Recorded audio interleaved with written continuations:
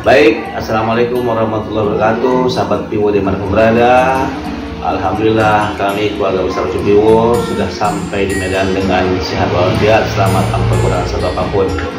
Nah di sini kami ingin menyampaikan hal yang dirasa penting untuk para subscriber, para viewer semua tentang berapa sih biaya atau jasa tol yang bisa kita keluarkan atau kita persiapkan mulai dari gerbang tol Bangkinang hingga keluar di gerbang tol Amplas Medan ya karena saya rasa mungkin teman-teman semuanya uh, membutuhkan informasi ini bagi yang ingin mudik atau ingin jalan-jalan dari Bangkinang menuju Kota Medan dengan menggunakan jasa atau melalui trayek tol yang sudah ada saat ini.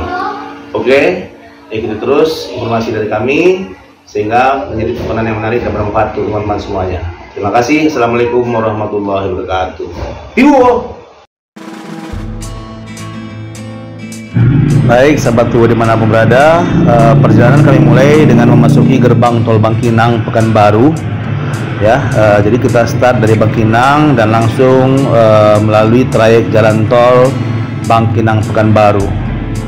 Ya, oke kawan-kawan.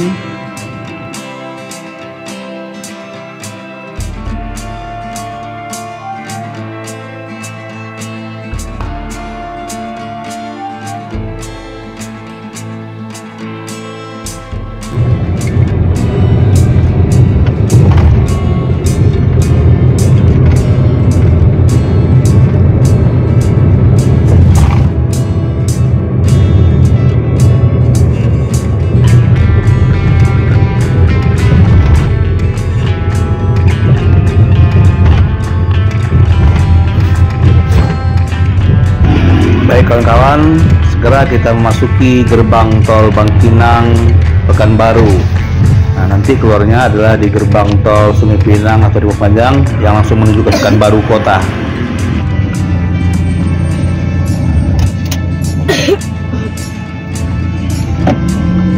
Oke, lanjut lagi.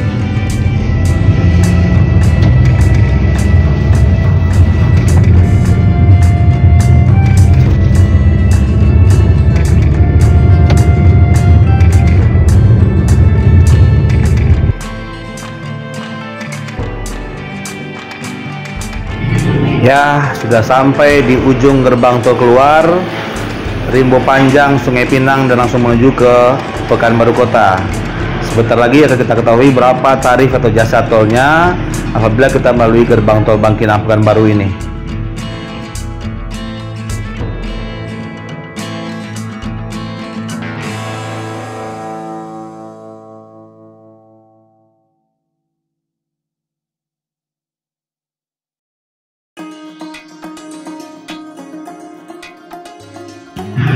Nah, tarif yang dikenakan untuk melalui jalan tol mulai dari gerbang tol Bangkinang, Pekanbaru dan keluar di gerbang tol Sungai Pinang Panjang dikenakan biaya sebanyak Rp33.000 kawan-kawan semuanya. Nah, setelah keluar gerbang tol ini kita melanjutkan dengan melakukan perjalanan reguler atau jalan biasa menuju ke gerbang tol Pekanbaru Dumai.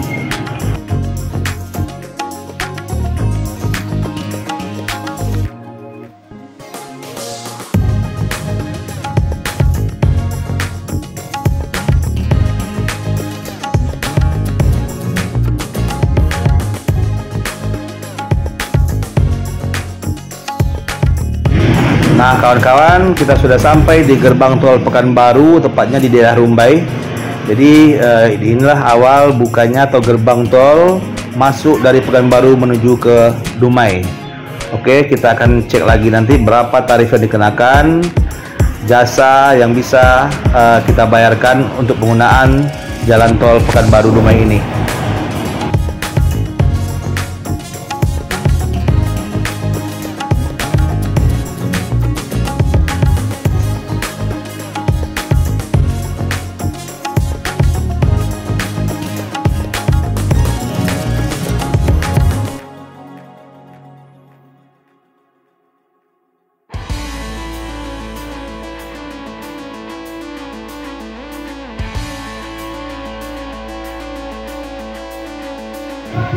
Oke lanjut kita gaspol via tol Pekanbaru Dumai. Nah, untuk informasi kepada teman-teman sahabat kru semuanya, kita melewati gerbang tol Pekanbaru dan akan keluar di gerbang tol Batin Solapan. Jadi bukan di Dumai ya, karena kalau kita keluar di gerbang tol Dumai kita akan putar kembali turun ke bawah karena kita akan melewati simpang Bangko arah Kelokan Hilir. Jadi kita akan keluar di gerbang tol Batin Solapan.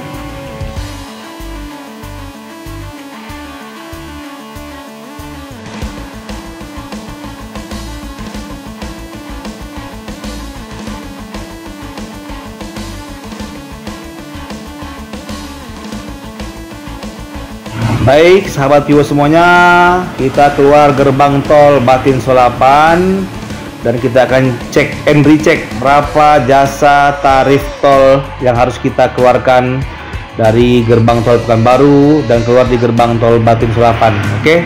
Nah, ternyata biaya yang kita keluarkan sebanyak Rp148.500 ya dengan perjalanan yang lumayan panjang tadinya ya dari gerbang tol Pekanbaru menuju ke gerbang tol Batu Sulapan.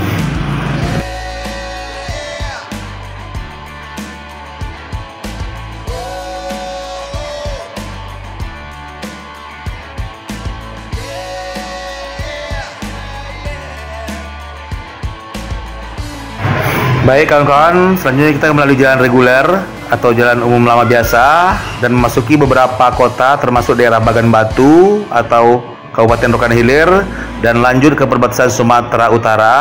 Nah, selanjutnya baru kita bisa memasuki gerbang tol Indrapura Sumatera Utara menuju ke gerbang tol Amplas Medan Kota.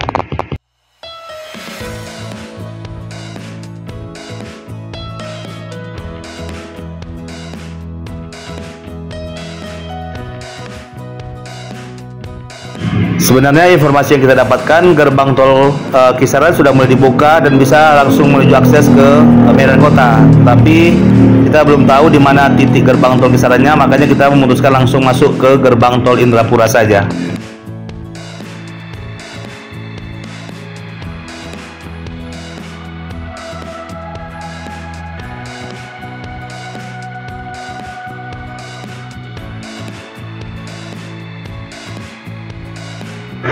Oke, sahabat Piwo, last lap menggunakan fasilitas tol. Nah, kita masuk di gerbang tol Indrapura, langsung menuju ke gerbang tol Amplas Medan Kota, uh, dan akan sampai di Kota Medan sore ini.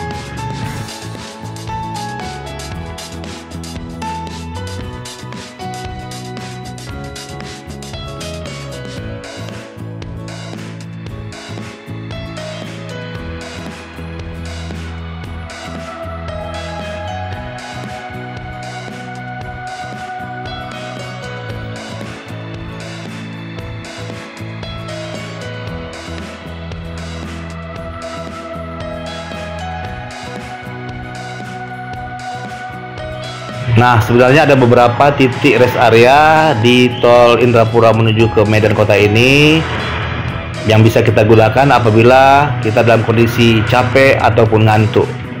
Ya kawan-kawan ya. Jadi ada beberapa titik rest area yang bisa kita manfaatkan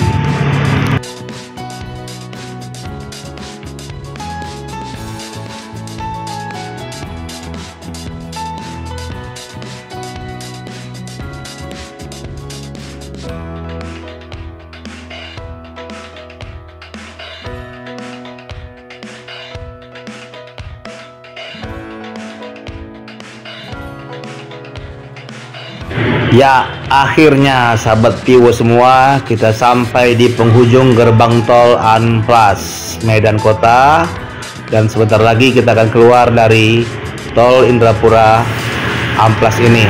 Oke. Kita akan cek berapakah tarif yang dikenakan kepada kita atau jasa yang bisa kita berikan untuk melewati jalan tol ini.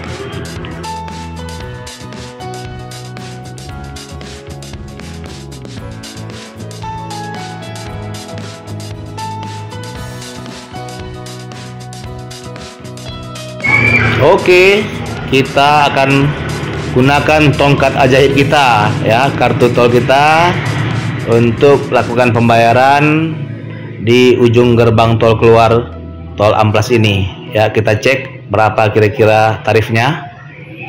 ya kawan-kawan sahabat Piwo semuanya nah ternyata kita dikenakan tarif eh, sebesar Rp108.500 untuk fasilitas yang kita gunakan dari gerbang tol Indrapura menuju ke gerbang tol Amplas Medan Kota. Oke kawan-kawan, kita lanjut lagi ke jalan reguler menuju rumah di Medan.